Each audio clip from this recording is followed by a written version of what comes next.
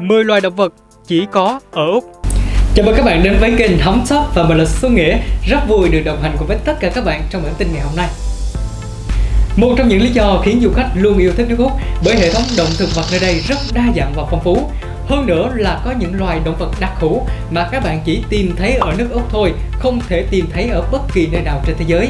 Đã là một trong những điểm nhấn tạo nên nét hấp dẫn riêng cho quốc gia này. Gấu túi koala Koala là một loài gấu túi nhỏ sinh trưởng ở Úc. Chúng ăn thực vật để phát triển. Loài vật này dễ thương đến mức khiến bất kỳ ai cũng muốn tới gần âu yếm. Tuy nhiên gấu túi hơi khác biệt bởi nó không có đuôi mà luôn đu bám sống trên các thân cây. Những con koala mới chưa có lông, mắt còn nhắm, lập tức chui vào chiếc túi lộn ngược của koala mẹ và ở trong đó từ 6 đến 7 tháng. Gấu túi dành khá nhiều thời gian để ngủ trong cuộc đời, trung bình từ 18 đến 20 giờ mỗi ngày. Kangaroo Kangaroo là biểu tượng của Úc, điều mà bất kỳ ai cũng luôn nghĩ tới khi nhắc về quốc gia này. Chuột túi bản địa thuộc nhóm loài thú túi chân to lớn. Chuột túi màu đỏ, cao và khỏe mạnh là loài thú có túi lớn nhất và động vật có vú lớn nhất ở Úc. Chuột túi đực thường rất hung dữ với nhau, tuy chiến đấu để giành bản tình nhưng lại khá nhút nhát khi gặp con người. Chúng có đôi chân cực khỏe và tung cú đá mang lực khỏe như võ sĩ chuyên nghiệp. Bạn sẽ tìm thấy chuột túi trong hầu khắp các khu bảo tồn động vật hoang dã và vườn thú của Úc. Tuy nhiên, việc bắt gặp kangaroo đi lang thang giữa môi trường tự nhiên sẽ gây thích thú hơn nhiều. Kangaroo sống hoang dã hoạt động mạnh mẽ vào lúc hoàng hôn. Chúng xuất hiện nhiều quanh bãi biển, dọc con đường ngoại ô các thành phố lớn. Chuột túi Wallaby Ngoại hình chuột túi Wallaby khá giống kangaroo, nhưng kích thước nhỏ hơn. Điều này rất dễ nhận ra khi chúng đứng cạnh nhau Loài động vật bản địa của nước Úc sống tập trung ở vùng hẻo lánh, núi đá hay có địa hình gồ ghề.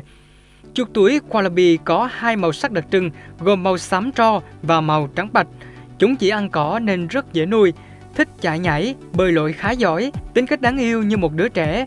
Có khoảng 30 loài wallaby sinh sống rải rác trên khắp nước Úc và chia ra nhiều nhóm nhỏ. Tiếp theo trong danh sách này là một loài động vật có cái tên khá đáng sợ, quỷ Tasmania.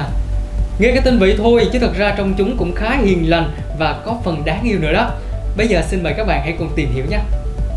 Quỷ Tasmania Quỷ Tasmania hiện là loài thú có túi ăn thịt lớn nhất trên thế giới. Chúng cư ngụ trong môi trường tự nhiên trên các quần đảo thuộc nước Úc, kích thước trung bình chỉ bằng con chó nhỏ. Với đôi tai đỏ hỏn, bộ hàm rộng cùng những chiếc răng sắc nhọn và tiếng gầm rất lớn, Tasmania gây khiếp sợ cho không ít loài, dù vậy, nó lại là loài săn mồi và luôn chờ đợi phần thịt được cung cấp sẵn. Quỷ Tasmania sở hữu màu lông tối sẫm, thân hình tròn trịa và có chiếc túi nhỏ để mang theo con. Từng có mặt ở lục địa Úc, quỷ Tasmania giờ chỉ được tìm thấy trên đảo Tasmania, một số công viên động vật hoang dã nước Úc. Gấu túi mũi trần Gấu túi mũi trần Wombat là loài thú có túi mập mạp trông giống gấu con. Nhờ sở hữu bộ lông dày mà chúng thoải mái duy trì mọi hoạt động suốt mùa đông dài. Hai chi trước khỏe mạnh giúp nó dễ dàng đầu bới tìm mọi thứ bị chôn vùi dưới lớp tuyết dày. Thức ăn chủ yếu của Quambas là cỏ và các loại thực vật. Vì bản tính ngủ ngày, đêm mới đi kiếm ăn nên ngay cả người dân bản địa cũng ít có cơ hội thấy chúng. Tuy dáng vẻ béo lùn, có phần chậm chạp khi đi bộ, nhưng chúng lại chạy cực nhanh để bảo vệ lãnh thổ khi bị tấn công. Vùng núi Cradle ở Tasmania, Blue Mountain ngoài ô Sydney hoặc tại các công viên vườn thú hoang dã của Úc là nơi du khách có cơ hội gặp gỡ loài vật này. Ừ, bản tin ngày hôm nay thật thú vị đúng không nào? Muốn thêm những thông tin thú vị nữa thì các bạn hãy like, share và subscribe kênh này nhé. Xin chào và hẹn gặp lại.